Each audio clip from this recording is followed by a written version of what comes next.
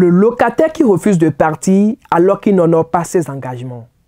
C'est ainsi qu'il faut voir la présence de la France au Niger et pour la junte militaire à travers le Premier ministre Ali Mahaman Lamine Zen. Il s'agit d'une guerre.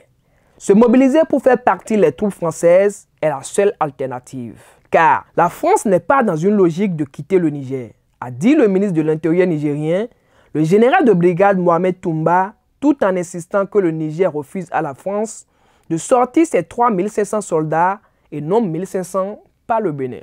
L'autorisation leur avait été donnée à l'époque par le gouvernement en place de s'installer au Niger. Alors là, ils sont arrivés en grand nombre. Initialement, un nombre de 1500 avait été annoncé. Mais aujourd'hui, ils sont plus de 3000, voire 3500. Vous êtes militaire, nous sommes militaires. Nous savons pertinemment que si vous gardez des troupes encore ici au Niger, c'est toujours dans cet esprit belliqueux pour avoir ces velléités. Alors donc vos troupes quittent en premier. Et quand ils vont quitter en premier, on leur a donné un chemin. Vous allez quitter, mais pas par le Bénin, parce que nous savons que vous voulez aller au Bénin. N'importe quelle direction, sauf le Bénin. Et que vos avions, on va les lâcher à la dernière minute. Donc ils ont lu à travers cela que ça ne les arrange pas certainement, parce que nous aussi, nous avons pressenti qu'ils avaient des intentions malveillantes. Ils saisissent la balle au bon pour dire, ben non, nous, on voudrait partir avec l'aviation. Donc tout le contraire de ce qu'on a proposé. Pour vous dire que ces gens-là ne sont pas dans une logique de quitter le Niger. Leur logique est simple. Ils veulent profiter pour déstabiliser le pays faire en sorte que les Nigériens s'entre-déchirent entre eux, en créant la chienlit, en créant la zizanie, en créant l'émoi. Ces propos du ministre de l'Intérieur nigérien, le général de brigade Mohamed Toumba, qui dénonce un complot de déstabilisation du Niger par la France, sont assez clairs et se justifient par ces propos de Vincent Couzet, expert en renseignement français sur la chaîne française LCI en étant présents, nous pouvions mieux nous protéger euh, des actions des groupes djihadistes. D'un autre côté aussi, peut-être maintenant, notre ambassadeur et notre contingent n'étant plus otages au Niger, en quelque sorte, dans cette position de fort Alamo, nous aurons peut-être plus de latitude pour monter des opérations de déstabilisation, cette fois-ci plus clandestines. Ces propos confirment donc les craintes des autorités nigériennes qui ont vite compris le plan machiavélique que préparent les Français pour rendre ingouvernable le pays. Et c'est la raison pour laquelle il refuse aux soldats français la sortie par le Bénin qui ne leur inspire pas confiance. La ronde but jusqu'à la ligne par le président français Emmanuel Macron obligé de ravaler ses vomissures pour rappeler illico presto, son ambassadeur dont les autorités nigériennes ont retiré l'accréditation, lui est insupportable et donc ils font tout pour déstabiliser le pays se donner raison et montrer qu'après leur départ, ça n'a été que le chaos.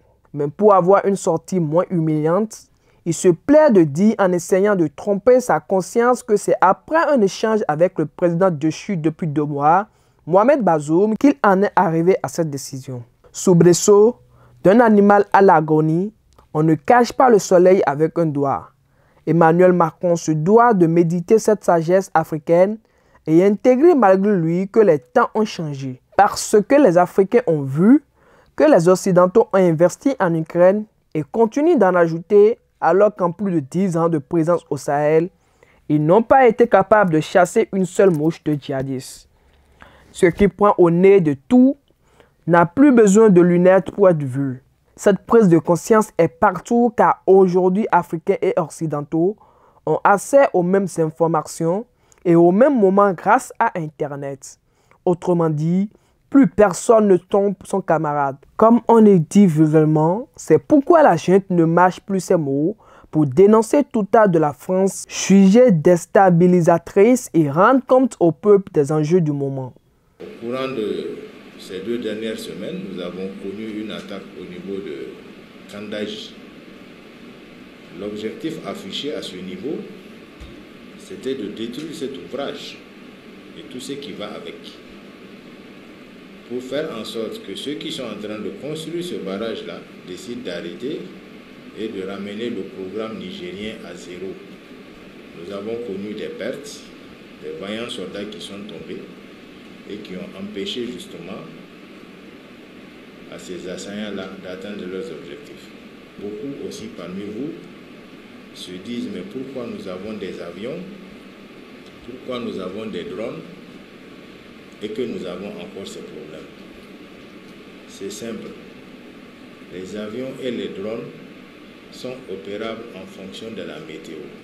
Des bandits, ces derniers temps, ils ont été équipés. C'est des gens qui ont eu des motos neufs, de l'armement neuf, que nos partenaires français, ou disons nos ennemis français, ont pu leur acquérir. Les autorités de transition nigériennes sont claires. Si les troupes françaises quittent le Niger, cet espace en six mois sera délivré des djihadistes. Propos braves des autorités nigériennes que les djihadistes et leurs alliés ont intérêt à prendre au sérieux car quand un aveugle te dit qu'il va te lapider, c'est qu'il a sous la main une pierre. Il est temps que tout ce bazar cesse pour que l'Afrique connaisse enfin le développement qu'on lui refuse depuis trop longtemps.